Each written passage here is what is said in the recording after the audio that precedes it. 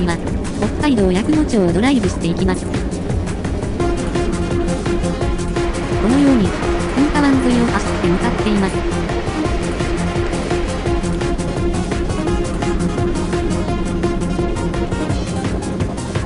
最初の目的地は、JR の駅舎です。なぜ、こちらを紹介するのかというと、駅舎内が江戸時代に近くに関所があったことから、関所の模型などが展示しているからです。なお、江戸時代当時、この字にあった関所は日本最北の関所だったようです。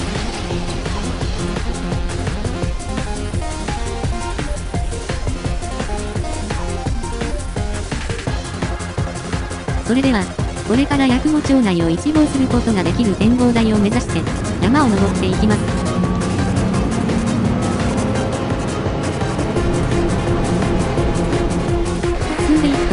展望台が見えてきました。なお、こちらの展望台は牧場の一角にあるので、牧場の牛を眺めながら進んでいきます。ようやく、展望台に到着しました。それでは、これから展望台を登ってみたいと思います。なお、展望台へは、階段を登っていくことになります。ようやく、展望台の頂上に到着しました。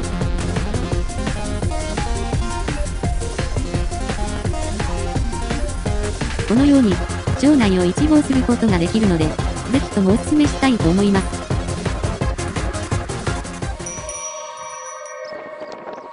それでは、これから町内の中心部へ戻っていきたいと思います。町内には、無料で堪能できる博物館や、庭園があります。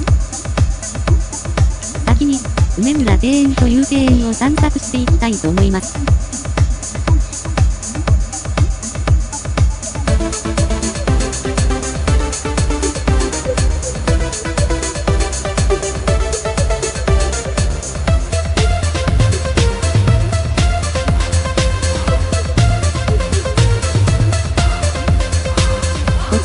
園では、これぞ日本というような雰囲気を満喫することができます。それでは、これから博物館の方に向かっています。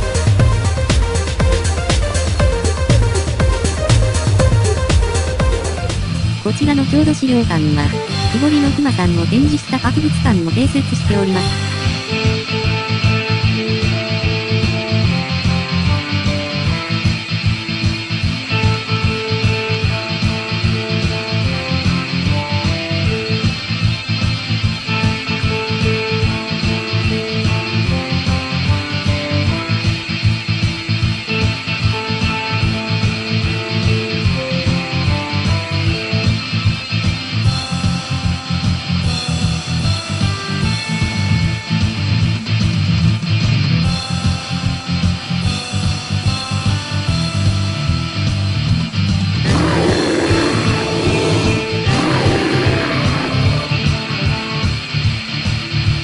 木彫りの菊間さんって、こんなにたくさんの種類があるんですね。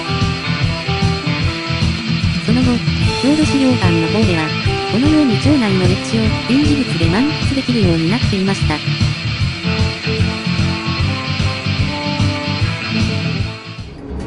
それでは、お腹が空いたので、これからヤクモを代表する2つのグルメを満喫したいと思います。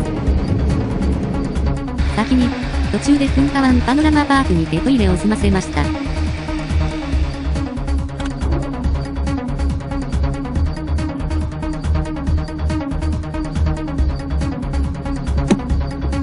最初のグルメは、この近くにあるので、早速向かいます。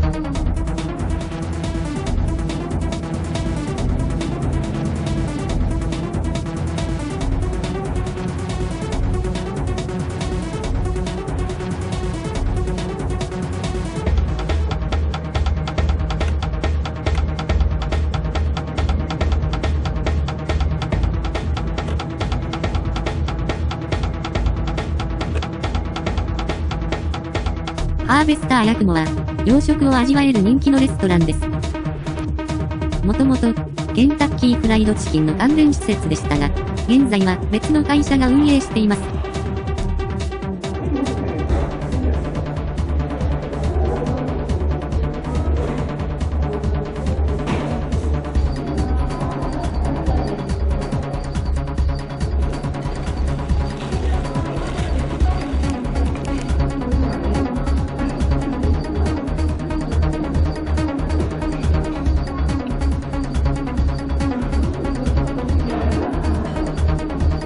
なおケンタッキーフライドチキンの名残で、このようなフライドチキンも提供しているのが特徴です。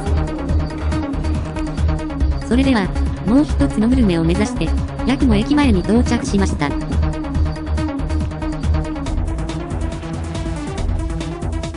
こちらの、ヤクモ駅前にある食堂、丸見では、ヤクモのご当地カレー、二見カレーを食べることができます。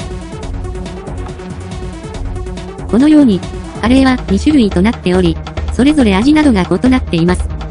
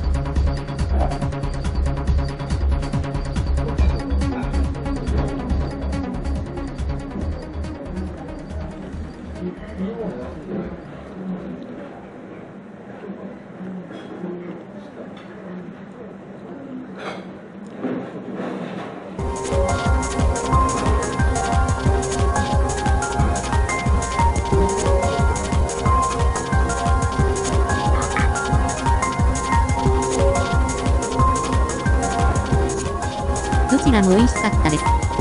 このように、八雲町は、グルメも堪能できる街ですので、皆さんも行ってみてはいかがでしょうか。